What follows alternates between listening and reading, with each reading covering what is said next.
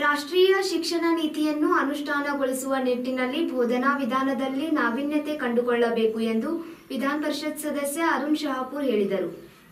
ಕೇಂದ್ರ ಸರ್ಕಾರದ ರಾಷ್ಟ್ರೀಯ ಹೊಸ ಶಿಕ್ಷಣ ನೀತಿಗೆ ತಾತ್ವಿಕ ಅನುಮೋದನೆ ನೀಡಿರುವ ದೇಶದ ಮೊದಲ ರಾಜ್ಯ ಕರ್ನಾಟಕ.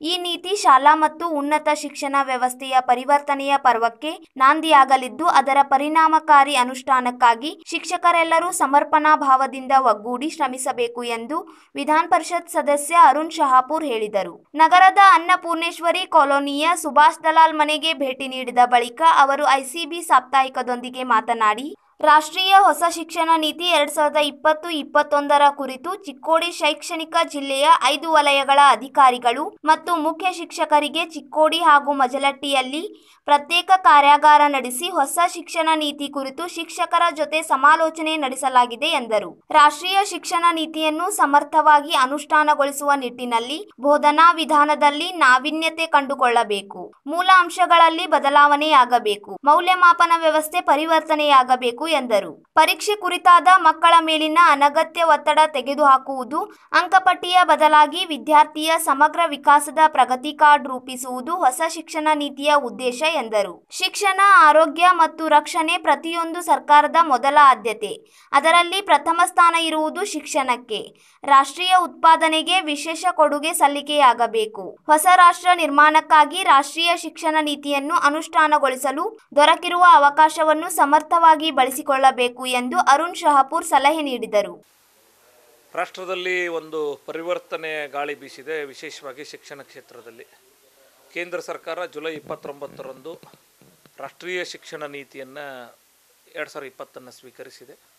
ಆ ಹಿನ್ನೆಲೆಯಲ್ಲಿ ಕರ್ನಾಟಕ ಸರ್ಕಾರವು ಕೂಡ ತಾತ್ವಿಕ ಒಪ್ಪಿಗೆಯನ್ನು ನೀಡಿದೆ. ರಾಷ್ಟ್ರೀಯ ಶಿಕ್ಷಣ ನೀತಿಯನ್ನು ಕರ್ನಾಟಕದಲ್ಲಿ ಜಾರಿಗೊಳಿಸುವ ದೃಷ್ಟಿಯಿಂದ.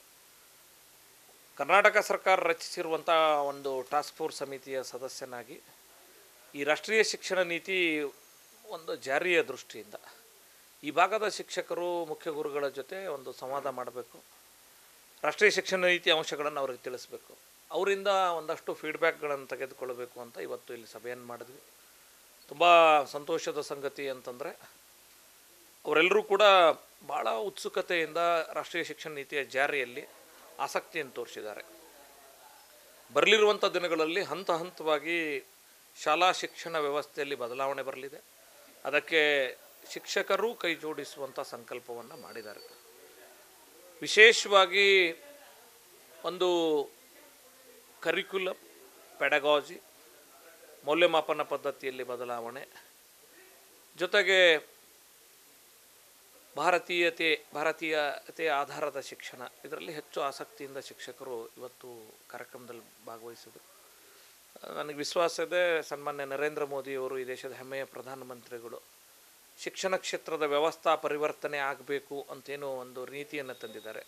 ಅದರ ಜಾರಿಯಾಗಿ ಬರಲಿರುವ ದಶಕಗಳಲ್ಲಿ ಭಾರತವನ್ನು ಮತ್ತೊಮ್ಮೆ ಜಗದ್ಗುರು ಆಗಿಸುತ್ತೆ ಅನ್ನುವಂಥ ವಿಶ್ವಾಸವನ್ನು ಈ ಸಂದರ್ಭದಲ್ಲಿ ವ್ಯಕ್ತಪಡಿಸ್ತೇನೆ. ಇದರ ಜೊತೆಗೆ ಹಲವಾರು ಶಿಕ್ಷಕರ ಸಮಸ್ಯೆಗಳಿದ್ದು. ಆ ನಿಟ್ಟಿನಲ್ಲಿ ಅಧಿಕಾರಿಗಳ ಜೊತೆಗೆ ಶಿಕ್ಷಕರ ಸಮಸ್ಯೆಗಳ ಪರಿಹಾರದ ನಿಟ್ಟಿನಲ್ಲಿ ಮಾತಾಡಿದ್ದೀನಿ. ಕೋವಿಡ್ ಸಂದರ್ಭದಲ್ಲಿ ಮರಣ ಹೊಂದಿರುವ ಶಿಕ್ಷಕರಿಗೆ ಇನ್ಶೂರೆನ್ಸ್ ತಲುಪಬೇಕು. ಆ ವೈದ್ಯಕೀಯ ಪರಿಹಾರ ರೀ ಇಂಬರ್ಸ್ಮೆಂಟ್ ಮಾಡೋದ್ರ ಬಗ್ಗೆ, ಅದರ ಜೊತೆಗೆ ಒಂದು ಇನ್ಕ್ರಿಮೆಂಟ್ ರೀಫಿಟ್ಮೆಂಟ್ ಮಾಡಬೇಕು ಅನ್ನುವಂಥ ಸರ್ಕಾರದ ಆದೇಶ.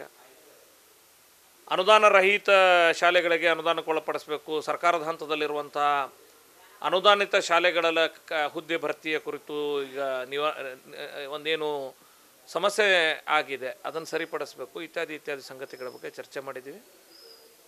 ನನಗೆ ವಿಶ್ವಾಸ ಇದೆ, ಕೋವಿಡ್ ಸಮಸ್ಯೆ ನಂತರ ಶಿಕ್ಷಕರ ಸಮಸ್ಯೆಗಳನ್ನು ಒಂದು ಹಂತಕ್ಕೆ ಪರಿಹಾರದ ತೆಗೆದುಕೊಂಡು ಹೋಗಲಿಕ್ಕೆ ಆಗುತ್ತೆ ಅನ್ನುವಂತಹ ವಿಶ್ವಾಸವನ್ನು ಈ ಸಂದರ್ಭದಲ್ಲಿ ವ್ಯಕ್ತಪಡಿಸಿ. ಸನ್ಮಾನ್ಯ ಬಿ ಎಸ್ ಯಡಿಯೂರಪ್ಪನವರ ನೇತೃತ್ವದಲ್ಲಿ, ಸನ್ಮಾನ್ಯ ಉಪಮುಖ್ಯಮಂತ್ರಿಗಳಾಗಿರುವಂಥ ಉನ್ನತ ಶಿಕ್ಷಣ ಸಚಿವರಾಗಿರುವಂಥ ಅಶ್ವಥ್ ನಾರಾಯಣರವರ ನೇತೃತ್ವದಲ್ಲಿ, ಶಿಕ್ಷಣ ಸಚಿವರಾಗಿರುವಂಥ ಸುರೇಶ್ ಕುಮಾರ್ ಒಂದು ಮುಂದಾಲೋಚನೆ ಅವರ ನೇತೃತ್ವದಲ್ಲಿ, ಖಂಡಿತವಾಗಿ ಕರ್ನಾಟಕದ ಶಿಕ್ಷಣ ಕ್ಷೇತ್ರ ರಾಷ್ಟ್ರೀಯ ಶಿಕ್ಷಣ ನೀತಿಯನ್ನು ಅಳವಡಿಸಿಕೊಂಡು ಶಿಕ್ಷಕರ ಸೇವಾ ವಿಷಯಗಳಲ್ಲಿ ಉದ್ಭವವಾಗಿರುವ ಸಮಸ್ಯೆಗಳನ್ನು ನಿವಾರಿಸಿಕೊಂಡು ಶಿಕ್ಷಣ ಕ್ಷೇತ್ರವನ್ನು ಮತ್ತೊಂದು ಉತ್ತುಂಗಕ್ಕೆ ತೆಗೆದುಕೊಂಡು ಹೋಗ್ತಾರೆ ಅನ್ನುವಂಥ ವಿಶ್ವಾಸವನ್ನು ಈ ಸಂದರ್ಭದಲ್ಲಿ ವ್ಯಕ್ತಪಡಿಸ್ತೇನೆ.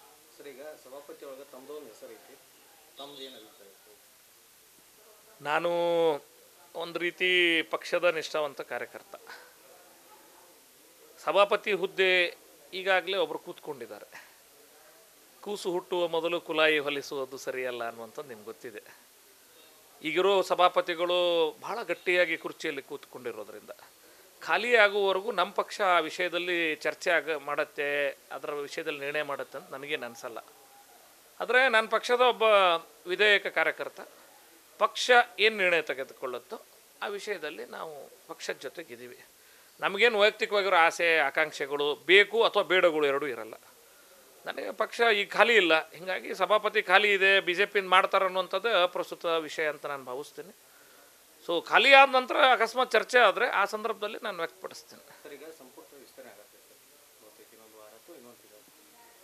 ಶಿಕ್ಷಕರ ಬಸವರಾಜ್ ಹೊರಟಿನ ಹೊರತುಪಡಿಸಿ ಇನ್ನೂರಿಗೆ ಯಾರೂ ಆಗಿಲ್ಲ ಹಾಗೇನಾರ ತಾವು ಏನಾರು ಇವತ್ತಿನ ರಾಜಕೀಯ ಪರಿಸ್ಥಿತಿ ಭಾಳ ಸೂಕ್ಷ್ಮವಾಗಿದೆ.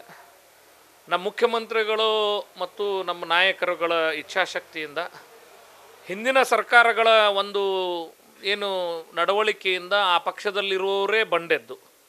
ಆ ವ್ಯವಸ್ಥೆ ನಿರ್ಮೂಲನೆ ಆಗಬೇಕು, ಆ ವ್ಯವಸ್ಥೆ ತೊಲಗಬೇಕು ಅಂಥೇಳಿ ಅವರು ನಮ್ಮ ಪಕ್ಷ ಸೇರಿ ಇವತ್ತು ಸರ್ಕಾರ ರಚನೆ ಆಗಿದೆ. ರಾಜಕೀಯವಾಗಿ ತುಂಬ ಸೂಕ್ಷ್ಮವಾದಂಥ ಸಂದರ್ಭಗಳನ್ನು ನಮ್ಮ ಮುಖ್ಯಮಂತ್ರಿಗಳು ಎದುರಿಸ್ತಿದ್ದಾರೆ. ಸನ್ಮಾನ್ಯ ಮುಖ್ಯಮಂತ್ರಿಗಳು ಈ ಈ ಸ್ಥಿತಿ ಎದುರಿಸ್ತಿರ್ಬೇಕಾದ್ರೆ ನಾವ್ಯಾರೋ ಅವ್ರು ನಾವು ಮುಖ್ಯಮಂತ್ರಿ ಆಗಬೇಕು ಅಥವಾ ಇವರು ಮುಖ್ಯಮಂತ್ರಿ ಆಗಬೇಕು ಅಂತ ಅಭಿಪ್ರಾಯ ವ್ಯಕ್ತಪಡಿಸೋದು ಒಳ್ಳೆಯದಾಗಲ್ಲ ನಮ್ಮ ಕೇಂದ್ರದ ನಾಯಕರು ರಾಜ್ಯದ ಮುಖ್ಯಮಂತ್ರಿಗಳು, ನಮ್ಮ ಪಕ್ಷದ ರಾಜ್ಯ ನಾಯಕರು, ನಮ್ಮ ಒಂದಿಷ್ಟು ಜನ ಹಿರಿಯರು, ರಾಜ್ಯದಲ್ಲಿ, ಕೇಂದ್ರದಲ್ಲಿ, ನಮ್ಮ ಪರಿವಾರದ ಹಿರಿಯರು, ಕೂತ್ಕೊಂಡು ಇವತ್ತಿನ ಸಂದರ್ಭಕ್ಕೆ ಕೆಲವೊಂದು ಜನರು ಮಂತ್ರಿ ಮಾಡುವ, ಮಂತ್ರಿ ಮಾಡದೇ ಇರುವ ನಿರ್ಣಯಗಳನ್ನು ತೆಗೆದುಕೊಳ್ತಾರೆ. ಅದಕ್ಕೆ ಸಹಕಾರ ಮಾಡುವಂಥ ಮಾನಸಿಕತೆಯಲ್ಲಿ ನಾವಿದ್ದೀವಿ. ಸರ್, ಸಂದರ್ಭ ಬರುತ್ತೆ, ಬಂದೇ ಬರ್ತದೆ. ಹೊರಟ್ಟಿಯವರು ನಾಲ್ಕು ಬಾರಿ ಶಾಸಕರಾದ ನಂತರ ಮಂತ್ರಿಗಳಾದರು. ಆದ್ರೆ ಯಾವಾಗ ಆಗ ಆದರೂ ಸಾಕಷ್ಟು ಅವಕಾಶ ಅವ್ರಿಗೆ ಸಿಗಲಿಲ್ಲ. ವಿಶ್ವೇಶ್ವರ ಹೆಗಡೆಯವರು ಕಾಗೇರವರು ಐದು ವರ್ಷ ಸಂಪೂರ್ಣ ಅವಧಿಗೆ ಮಂತ್ರಿ ಆದರು. ಹೀಗಾಗಿ ಕಾಗೇರಿಯವರು ಸಾಕಷ್ಟು ಬದಲಾವಣೆ ತರಲಿಕ್ಕಾಯಿತು. ಸಂಪೂರ್ಣ ಹಂಗೆ ಐದು ವರ್ಷ ಸಿಕ್ಕಿದ್ರು. ಅದಕ್ಕೆ ಸರ್ ಇದರಲ್ಲಿ ತರಾತುರಿ ಮಾಡಿದ್ರೆ ನನಗೆ ಭಾಳ ಸ್ಪಷ್ಟತೆ ಇದೆ. ಇನ್ನೂ ವಯಸ್ಸದ ಜನರ ಆಶೀರ್ವಾದ ಅದ, ಶಿಕ್ಷಕರ ಆಶೀರ್ವಾದ ಅದ. ಎಲ್ಲಿಗೆ ಹೋಗಲು ಸಂದರ್ಭ ಬರ್ತದೆ. ಆದರೆ ಇವತ್ತಿನ ಸೂಕ್ಷ್ಮ ಪರಿಸ್ಥಿತಿನಲ್ಲಿ ನಮ್ಮ ನಾಯಕರೆಲ್ಲ ಸೇರಿ ಪಕ್ಷದ ಒಳಿತಿಗಾಗಿ ಏನು ನಿರ್ಣಯ ತೊಡ್ತಾರೆ ಅದನ್ನು ಬೆಂಬಲಿಸಬೇಕು ಅನ್ನೋದು ಒಂದು ಬಿಟ್ಟರೆ ಯಾವ ಅಪೇಕ್ಷೆಗಳನ್ನು ಇಟ್ಕೊಳ್ಳುವಂಥ ಮಾನಸಿಕತೆಯಲ್ಲಿ ನಾವಿಲ್ಲ. ಈ ಸಂದರ್ಭದಲ್ಲಿ ಬಿಜೆಪಿ ರೈತ ಮೋರ್ಚಾ ರಾಜ್ಯ ಉಪಾಧ್ಯಕ್ಷ ದುಂಡಪ್ಪ ಬೆಂಡ್ವಾಡೆ, ಎಸ್ಬಿ ಸೊಲ್ಲಾಪುರೆ, ಸಿದ್ದು ಬಬಲೇಶ್ವರ್, ಅಜಯ್ ಉದೋಶಿ ಹಾಗೂ ಸುಭಾಷ್ ದಲಾಲ್ ಮುಂತಾದವರು ಉಪಸ್ಥಿತರಿದ್ದರು.